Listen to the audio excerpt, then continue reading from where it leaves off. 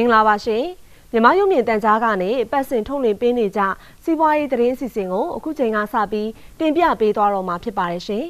ဒီအစီအစဉ်ဟာပတ်စင်စနေနေ့တိုင်းထုတ်လွှင့်ပေးနေခဲ့တာဖြစ်ပြီးမြန်မာနိုင်ငံတွင်းဖြစ်ပေါ်ပြောင်းလဲနေတဲ့စီးပွားရေးဆိုင်ရာသတင်းချက်လက်တွေကိုစူးစီးတင်ပြပေးသွားမှာဖြစ်ပါတယ်ရှင်ဒီတစ်ပတ်အတွက်တင်ပြပေးသွားဖို့ရရှိထားတဲ့သတင်းတွေထဲမှာတော့အသေးစားနဲ့အလက်စားစီးပွားရေးလုပ်ငန်းတွေတိုးတက်လာဖို့ဘာတွေလိုအပ်နေပြီလဲ မြန်မာနိုင်ငံရဲ့အာမခံလုပ်ငန်းဟာပြည်သူတွေအတွက်စိတ်ဝင်စားစရာဖြစ်လာနိုင်သလားပြည်ပခီးသွားဧည့်သည်တွေအဝင်များနေတဲ့မြန်မာနိုင်ငံမှာခီးသွားဝန်ဆောင်မှုလုပ်ငန်းဘယ်လိုတိုးတက်လာနိုင်မလဲဒီသတင်းတွေကိုတင်ပြပေးသွားပြီးတဲ့နောက်မှာတော့နောက်ဆုံးရစီးပွားရေးသတင်းအချက်အလက်တွေကိုလည်းတစုတစည်းနဲ့ရှာဖွေတင်ပြပေးသွားတော့မှာဖြစ်ပါတယ်ရှင်အခုပဲသတင်းတွေကိုစပြီးတင်ပြပေးသွားပါတော့မယ်ရှင်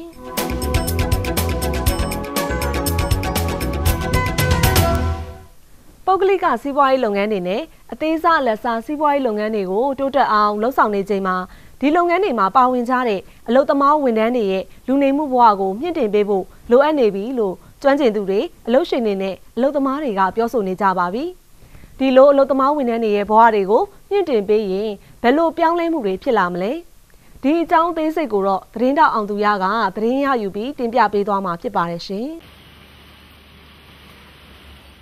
စီးပွားရေးပြုပြင်ပြောင်းလဲမှုရဲ့အထူးအရေးပါတဲ့ပုဂ္ဂလိကအခမ်းကဏ္ဍမှာအလုပ်လုပ်ကင်ကြတဲ့အခြေခံအလုပ်သမားတွေရဲ့ဝင်ငွေနဲ့အကျိုးခံစား권တွေကိုအလဲအလဲတန်းစားအဆင့်ထိရောက်အောင်မွေးထုတ်ပေးနိုင်မှာသာမြန်မာနိုင်ငံရဲ့လူမှုစီးပွားရေးအဆင့်မြင့်လာနိုင်တယ်လို့ UMFCCI တင်နန်းကျောင်းရဲ့ဂုဏ်ထူးဆောင်ကျောင်းအကြီးဖြစ်သူဒေါ်ခိုင်ခိုင်နွယ်ကပြောပါတယ်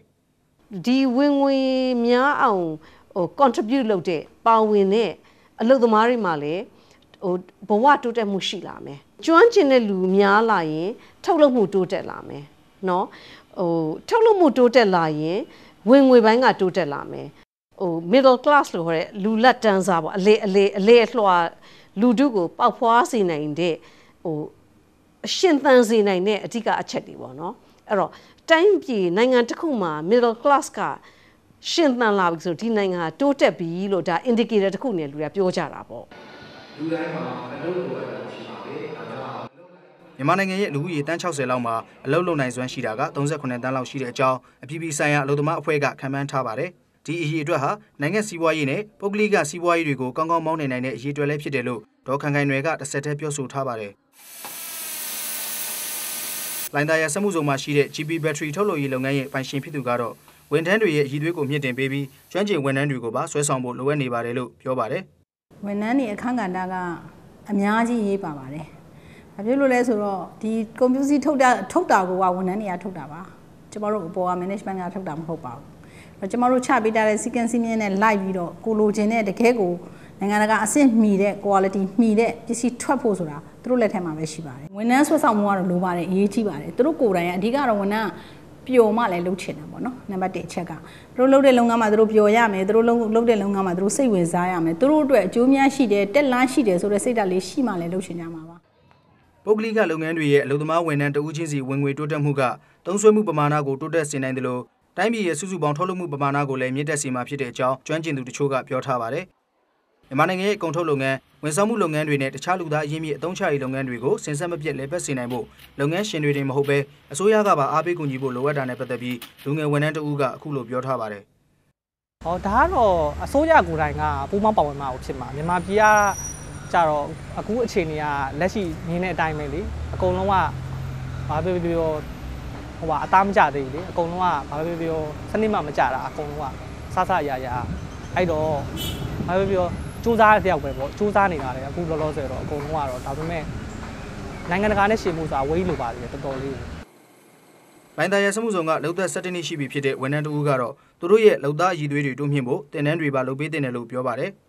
အလုပ်ရှင်တွေဘက်ကတော့ training များများပေးရမယ်ပေါ့နော်ကျွန်တော်တို့ရဲ့ဟိုပေါ့နီးသစ်တစ်ခုပြောင်းလာပြီဆိုလို့ရှိရင်ဒါနိုင်ငံခြားသားကိုခေါ်တဲ့ခေါ်ရမယ် training တွေများများပေးရမယ်ပေါ့နော်အဲ့ကနေပြီးတော့မှဒီမှာရှိနေတဲ့ engineer တွေနဲ့ပြန်ပြီးတော့ training ယူမယ်ပြီးရင်အောက်ကငယ်သားတွေကိုဆက်ပြီးတော့ training ထပ်ပေးမယ်ပေါ့နော်အဲ့လိုအပိုင်းကို training ပိုင်းများများလုပ်ပေးနိုင်လို့ရှိရင်ဝန်ထမ်းတွေအတွက်တိုးတက်မှုတွေအများကြီးရှိလာမှာပါဖြစ်နိုင်တာတော့လာသာပေါ့လေလာသာလည်း titan နဲ့လာသာကိုယ့်ရဲ့လုပ်အားကိုယ့်ရဲ့အဆင့်ပေါ့နော်ကိုယ့်ရဲ့ education အပေါ်မှာမူတည်ပြီးတော့ပံ့ပိုးမှုတွေအများကြီးလုပ်ပေးနိုင်တော့ပိုကောင်းတာပေါ့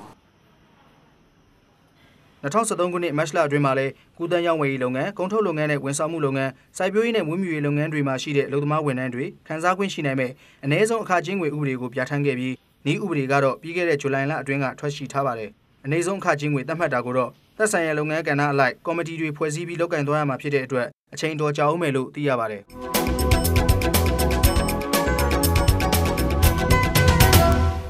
မြန်မာနိုင်ငံရဲ့ အာမခံလုပ်ငန်းဟာလွန်ခဲ့တဲ့နှစ်ပေါင်း90ကျော်ကတည်းကအစိုးရပိုင်းမြန်မာအာမခံလုပ်ငန်းကသာလုပ်ကင်နေခဲ့ပြီးအခုချိန်မှာတော့ပုဂ္ဂလိကပိုင်းအာမခံလုပ်ငန်းတွေဟာလုပ်ကင်ခွင့်ရလာကြပြီဖြစ်ပါတယ်။ဒီအာမခံလုပ်ငန်းဟာမြန်မာပြည်သူတွေအနေနဲ့စိတ်ဝင်စားမှုနည်းနေသေးတယ်လို့လုပ်ငန်းရှင်တွေကပြောဆိုခဲ့ကြပြီးအခက်အခဲတွေရှိလာနိုင်တယ်လို့ပြောဆိုခဲ့ပါတယ်။ဒီအာမခံလုပ်ငန်းနဲ့ပတ်သက်တဲ့စိတ်ဝင်စားစရာသတင်းချက်လက်တွေကိုသတင်းတော်ဝန်ကရှာဖွေစူးစီးပြီးတင်ပြပေးသွားမှာဖြစ်ပါတယ်ရှင်။ မြန်မာနိုင်ငံမှာလုတ်ကန်ခွင့်ရရှိနေပြီဖြစ်တဲ့ပုဂ္ဂလိကအာမခံလုပ်ငန်းတွေအတွင်းစိတ်ဝင်စားသူနှဲပါနေသေးတဲ့အကြောင်းအာမခံလုပ်ငန်းလုပ်ကင်သူလုပ်ငန်းရှင်တွေကပြောပါရယ်ပြီးခဲ့တဲ့မေလအတွင်းကစပြီးအာမခံလုပ်ငန်းအတွက်ပထမဆုံးတင်ဒါခေါ်ယူပြီးတဲ့နောက်မှာတော့ပုဂ္ဂလိကပိုင်းကုမ္ပဏီ12ခုထိအာမခံလုပ်ငန်းလုပ်ကင်ခွင့်ရလာခဲ့ပြီး လက်ရှိအချိန်မှာတော့နိုင်ငံတကာနဲ့ရှင်ရင်တွင်ကျယ်မှုနည်းနေသေးတယ်လို့လည်းလုပ်ငန်းရှင်တွေကပြောဆိုခဲ့ကြပါတယ်။လက်ရှိအချိန်မှာအာမခံလုပ်ငန်းအပေါ်ပြည်သူတွေရဲ့စိတ်ဝင်စားမှုနည်းနေသေးတာနဲ့ပတ်သက်ပြီးနှစ်ပေါင်း40ကျော်အာမခံလုပ်ငန်းလုပ်ကင်မှုသူ Green Guardian အာမခံလုပ်ငန်းရဲ့အကြံပေးပုဂ္ဂိုလ်ကတော့အခုလိုမှတ်ချက်ပြုထားပါတယ်။အာမခံထားနိုင်လောက်တဲ့ပါဖြစ်တယ်။ဝင်ငွေအနေထားရှိဖို့လိုတယ်။မရှိဘဲနဲ့အငတ်ခံပြီးတော့အာမခံထားဆိုဘယ်လောက်ဘယ်လိုရမလဲ။လုံလောက်တဲ့ပါဖြစ်တယ် မိမိလူနေမှုဘဝတဲ့လုံလောက်တဲ့ဝင်ငွေဘာဖြစ်လဲရှိမှအသက်အမကအဒီမဟုတ်အာမခံဆိုတော့ဘာဖြစ်လဲဝယ်ခြင်းလိမ့်မယ်ဝယ်ဖို့အခြေအနေပေးလိမ့်မယ်ဒါမှမဟုတ်ရင်ဘာဖြစ်လဲမဖြစ်နိုင်ပြည်ပရင်းနှီးမြှုပ်နှံမှုတွေတိုးဝင်လာနေတဲ့မြန်မာနိုင်ငံမှာအာမခံလုပ်ငန်းဟာစီးပွားရေးအတွက်အရေးကြီးတဲ့အခန်းကဏ္ဍမှာပါဝင်နေတဲ့အကြောင်းကိုလည်းကျွမ်းကျင်သူတွေကပြောခဲ့ပူပါတယ်။အာမခံလုပ်ငန်းနဲ့စီးပွားရေးလုပ်ကိုင်မှုအပေါ်စီးပွားရေးပညာရှင်ဒေါက်တာအောင်ထွန်းသက်ရဲ့အမြင်ကိုလည်းကြည့်ရအောင်ပါ။ စီးပွားရေးလို့ risk ဆိုရဲစွန့်စားမှုရှိတာဟိုအမကန်တကယ်တော့ risk management ပဲနော်အမကန်လုပ်တာစီးပွားရေးလုပ်တဲ့သူတွေကိုယ့်ရဲ့စွန့်စားမှုတွေကိုကိုယ်ကထိန်းသိမ်းကာကွယ်စောင့်ရှောက်နိုင်တယ်ဆိုတော့အမကန်ကိုအမကန်အနေနဲ့မကြည့်နဲ့ risk အနေနဲ့ကြည့်အဲ့တော့ risk ကိုထိန်းသိမ်းနိုင်တယ်ဆိုရင်ဥမာဆိုတော့ပျက်စီးသွားတဲ့ဆုံးရှုံးသွားတဲ့အမမီကြောင်ပဲဖြစ်ဖြစ်ဟိုနော်တဘာဝကြောင်ပဲဖြစ်ဖြစ်လူကြောင်ပဲဖြစ်ဖြစ်ပျက်စီးဆုံးရှုံးသွားတော့အမကန်ရှိနောက်တစ်ခုဆရာတို့အရေးကြီးတာအသက်အမှန်ကန်ကိစ္စ အခုလက်ရှိမှာအသက်အမှန်ကန်ထားခိုင်းတယ်ဝန်ထမ်းတွေအသက်အမှန်ကန်ပေးမယ်ဆိုတော့မဝန်ထမ်းလုပ်တဲ့လူတွေစီးပွားရေးလုပ်ငန်းတွေမှာလုပ်တဲ့ဝန်ထမ်းတွေကသူအသက်အမှန်ကန်ရှိရင်သူတို့တဲ့ဘဝလုံခြုံတာပေါ့ဆိုတော့စီးပွားရေးတိုးတက်မှုဆိုတာထက်ကိုဘဝလုံခြုံမှုအနေနဲ့စဉ်းစားလို့ရတယ်လို့ပြောလို့ရတယ် ပုဂ္ဂလိကအာမခံလုပ်ငန်းအတွင်းကားမတော်တဆမှုကြောင့်ပထမဆုံးအာမခံရော်ကြေးရရှိခဲ့တဲ့ဦးတင်အောင်ချိုကိုလည်းတွေးဆုံမေးမြန်းဖြစ်ခဲ့ပါတယ်။သူကတွေးကြုံရပုံကိုအခုလိုပြောပြခဲ့ပါတယ်။ဒါလည်းအခုပထမဆုံးအနေနဲ့ပေါ့နော်။ဒီကျွန်တော်အာမခံကိုထားခဲ့တဲ့အတွက်အဲကျွန်တော်ရဲ့ခုနကပြောလိုပါပဲအဲအခုလိုဒီအမကန်ကုမ္ပဏီကနေပြီးတော့ဟိုအမြန်ဆုံးသူဆောင်ရွက်ပေးတယ်ဟိုရော်ချင်းငွေလည်းအပြည့်အဝရရှိတဲ့အတွက်အရင်တက်ဆိုင်ကျွန်တော်အများကြီးခြေနဲ့အားရမှာ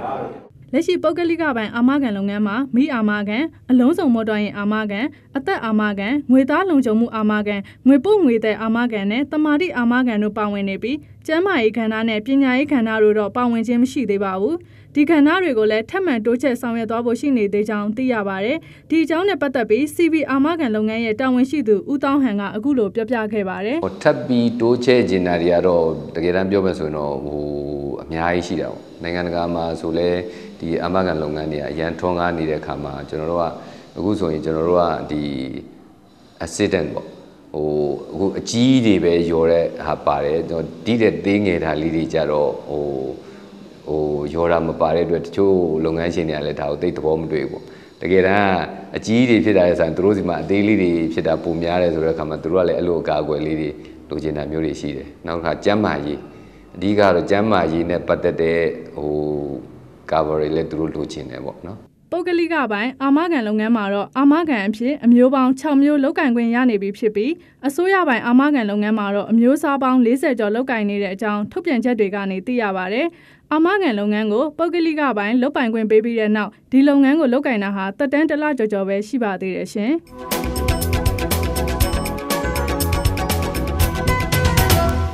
ကမ္ဘာကုလသမဂ္ဂခီးသွွားလုပ်ငန်းအဖွဲ့ရဲ့အစီရင်ခံစာတစ်စောင်မှာ 2012ခုနှစ်ရဲ့မြန်မာနိုင်ငံတွင်ပြည်ပခီးသွားဧည့်သည်ဝင်ရောက်မှုဟာအရှိတောင်အာရှနိုင်ငံတွေနဲ့နှိုင်းယှဉ်လိုက်ရင်တိုးတက်မှုက52ရာခိုင်နှုန်းလောက်ရှိခဲ့တယ်လို့ဖော်ပြခဲ့ပြီးဒီနိုင်ငံတွေကြားထဲမှာထိပ်တန်းနိုင်ငံတစ်ခုဖြစ်ခဲ့တယ်လို့ဖော်ပြထားပါတယ်။ဒီလိုပြပဧည့်သည်အဝင်များလာတာကပြည်တွင်းကခီးသွွားဝန်ဆောင်မှုလုပ်ငန်းတွေမှာရောဘလို့တိုးတက်လာမလဲဆိုတာနဲ့ပတ်သက်ပြီးသတင်းတောက်အောင်သူရကရှာဖွေတင်ပြပေးသွားမှာဖြစ်ပါတယ်ရှင်။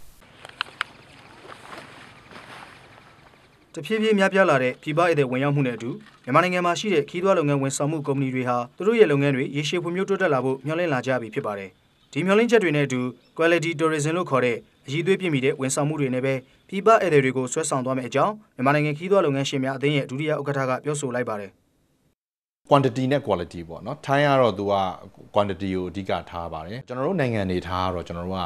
ဟိုဟို cultural based tourism နိုင်ငံလည်းဖြစ်တယ်နောက် ဟို natural နဲ့ပတ်သက်တဲ့ resource တွေကလည်းအများကြီးကြံသေးတယ်ဆိုတော့ဘာပဲပြောကျွန်တော်တို့က quality tourism ကိုပဲသွားတင်တယ်လို့ထင်ပါတယ်ဆိုလိုတဲ့သဘောကတော့ကျွန်တော်တို့ tourist အယောက်တစ်ထောင်လာတာထက်တရားလာမယ်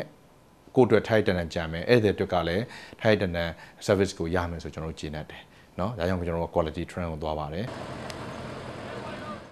ရည်သွေးမြင့်တဲ့ခီးသွွားဝန်ဆောင်မှုလုပ်ငန်း quality tourism ကိုဥတီဖို့အတွက်ကတော့လုံလောက်တဲ့ဟိုတယ်ခန်းလေကြောင်းလိုင်းရည်တွက်ပူများဖို့နဲ့အခြေခံအဆောက်အဦတွေဖြည့်ဆည်းပေးနိုင်မှုပါလိုအပ်နေသေးတယ်လို့ဦးသက်လွင်တို့ကဆက်ပြီးပြောဆိုထားပါတယ်2012ခုနှစ်မှာမြန်မာနိုင်ငံကနိုင်ငံခြားသားဧည့်သည်တသန်းကျော်ကိုဆွဲဆောင်နိုင်ခဲ့ပေမဲ့အရှိတောင်အာရှနိုင်ငံတွေအတွင်းမှာလေပတ်မှုအ ਨੇ ဆုံးနိုင်ငံတစ်ခုအဖြစ်ရှိနေပါသေးတယ်လို့ကုလသမဂ္ဂခီးသွွားလုပ်ငန်းအဖွဲ့ရဲ့2013ခုနှစ်မြန်မာနိုင်ငံအတွက်အစည်းအဝေးခန်းစာတစ်စောင်မှာဖော်ပြထားခဲ့ပါတယ် 2012ခုနှစ်ကနိုင်ငံခြားသားဧည့်သည်တွေစီကနေရရှိခဲ့တဲ့ဝင်ငွေဟာအမေရိကန်ဒေါ်လာတန်950နီးပါးလောက်ရရှိခဲ့ပြီးလူတဦးချင်းစီရဲ့တနေ့တာပြည့်မြအသုံးစရိတ်ကိုကြည့်မယ်ဆိုရင်တော့အမေရိကန်ဒေါ်လာ150လောက်သုံးစွဲခဲ့တာကိုတွေ့မြင်ရမှာဖြစ်ပါတယ်2009ခုနှစ်လောက်တုန်းကရရှိခဲ့တဲ့ဝင်ငွေအမေရိကန်ဒေါ်လာတန်း200နီးပါးနဲ့ဆိုရင်တော့30နီးပါးလောက်မြင့်တက်လာခဲ့ပါတယ်မြန်မာနိုင်ငံရဲ့ tourism ကိုကျွန်တော်ဘယ် trend နဲ့သွားမလဲဆိုတော့ကျွန်တော်ယူရီးယားလို့လုံးဝမသွားဘူးယူရီးယားက mass tourism ကိုဖွင့်ပေးတယ် tourist အများကြီးရောက်လာတာကို သူတို့ကအလိုရှိတယ်ကျွန်တော်တို့ကတော့အဓိကဘယ်လမ်းနဲ့သွားမလဲဆိုတော့ mass tourism မသွားဘူး quality tourism ဘက်ကိုသွားမယ်အဲ့အတွက်လည်းကျွန်တော်တို့ကဟိုယူရီးယားလို tourist 18တန်းတို့22တန်းတို့လာစရာကျွန်တော်တို့မလိုဘူးဥပမာယူရီးယားမှာတညကိုဒေါ်လာ100သုံးတဲ့ tourist 18တန်းလာရင်လာကျွန်တော်ရှိမှာတညကိုဒေါ်လာ300သုံးမဲ့ဧည့်သည်9သန်းလောက်လာတယ်ဆိုရင်လည်းကျွန်တော်ယူရီးယားက tourism မှာမိမိခိုပြီးတော့မှရှာနိုင်တဲ့ဝင်ငွေမျိုးကျွန်တော်မြန်မာနိုင်ငံမှာရှာနိုင်မယ်လို့ထင်တယ်ပေါ့နော် မြန်မာနိုင်ငံအတွင်းခီးသွွားလုပ်ငန်းတဖြည်းဖြည်းတိုးတက်လာမှုနဲ့အတူပြည်တွင်းမှာဖွင့်လှစ်ထားတဲ့ခီးသွွားလုပ်ငန်းကုမ္ပဏီပေါင်း1026ခုအထိရှိလာခဲ့ပြီးပြည်တွင်းပြည်ပဖက်ဆက်လုပ်ကိုင်တဲ့ကုမ္ပဏီကတော့18ခုအထိရှိလာပါတယ်။ပြည်ပကရာနှုတ်ပြရင်းနှီးမြှုပ်နှံထားတဲ့ကုမ္ပဏီကလည်းတစ်ခုပါဝင်နေပါသေးတယ်။အရင်ခီးသွွားလုပ်ငန်းတွေမဖွံ့ဖြိုးသေးတဲ့အချိန်တွေတုန်းကတော့ခီးသွွားလုပ်ငန်းကုမ္ပဏီတွေဟာရက်တီဖို့ခက်ခဲခဲ့ပြီးအခုလိုအပြောင်းလဲကာလအတွင်းမျှော်လင့်စရာတွေရှိလာပြီလို့နိုင်ငံသားပိုင်ခီးသွွားလုပ်ငန်းတစ်ခုရဲ့အုပ်ချုပ်မှုဒါရိုက်တာကအခုလိုပြောဆိုထားပါတယ်။အင်္ဂရုဆိုရင်အခု73နှစ်ထဲရောက်ပါပြီ။ အင်္ဂရုမှာအင်မတန်ရုန်းကန်ခဲ့ရပါတယ်။တို့နာဂစ်ပြစ်တုံးကတန်ဃာတော်ရေးကင်းပြစ်တုံးကတနစ်နေလို့ဈေးဥတဒေါ်လာမပေါက်ခဲ့ပါဘူးအဲ့လိုဘဝတွေကနေအငယ်ခီးသောကုန်တွေအများကြီးပဲအငယ်တို့အဲ့လိုအခက်ခဲရနေဦးတက်လာပါတယ်အခုဆိုရင်ပေါ့နော်အငယ်တို့က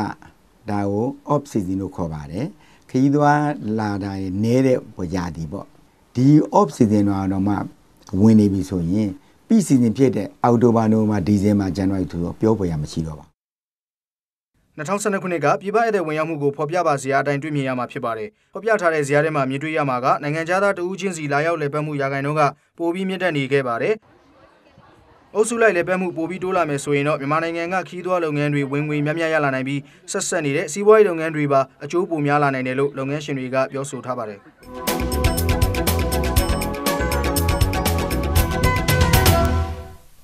အခုနှစ်မိုးရသည့်အတွက် စိုက်ပျိုးစရိတ်ချင်းဝင်မရရှိတာကြောင့်အေယာဝတီတိုင်းဒေသကြီးမော်လမြိုင်ကျွန်းမြို့နယ်တခုကုန်းကျေးရွာအုပ်စုမှာရှိတဲ့လယ်သမားတွေလယ်စိုက်ဖို့အခက်အခဲကြုံတွေ့နေရတဲ့အကြောင်းဒေသခံလယ်သမားတွေကပြောပါတယ်။မော်လမြိုင်ကျွန်းမြို့နယ်မှာရှိတဲ့စိုက်ပျိုးရေးနဲ့မွေးမြူရေးဘဏ်ကနေနှစ်စဉ်ချင်းငွေပေးနေပေမဲ့အုပ်စုထဲမှာရှိတဲ့လယ်သမား9ဦးချင်းငွေပြန်မဆက်နိုင်တာကြောင့်အခုနှစ်ချင်းငွေထုတ်မပေးတော့တာဖြစ်တဲ့အကြောင်းတခုကုန်းကျေးရွာအုပ်စုမှာရှိတဲ့လယ်သမားတယောက်ကပြောပါတယ်။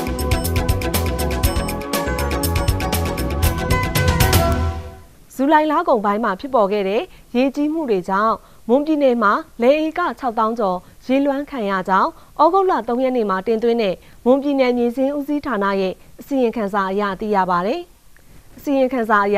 လေဧက6600ကျော်ရေလွှမ်းခံခဲ့ရပြီးတောင်သူ9000ကျော်ထိခိုက်ခဲ့တယ်လို့သိရပါတယ်။ဒီကိစ္စကိုအစိုးရဘက်ကနေတက်နံတမျှထောက်ပံ့ပေးသွားဖို့စီစဉ်နေပြီး မွန်ပြည်နယ်မှာရှိတဲ့လုပ်ငန်းရှင်တွေစီကလည်းအလှူခံသွားမှာဖြစ်တဲ့အကြောင်းမွန်ပြည်နယ်တဘာဝဘေးရန်နဲ့ကြိုတင်ကာကွယ်ရေးနဲ့ကေဆေးကော်မတီဥက္ကဋ္ဌဒေါက်တာတူတူအောင်ကပြောပါတယ်ရှင်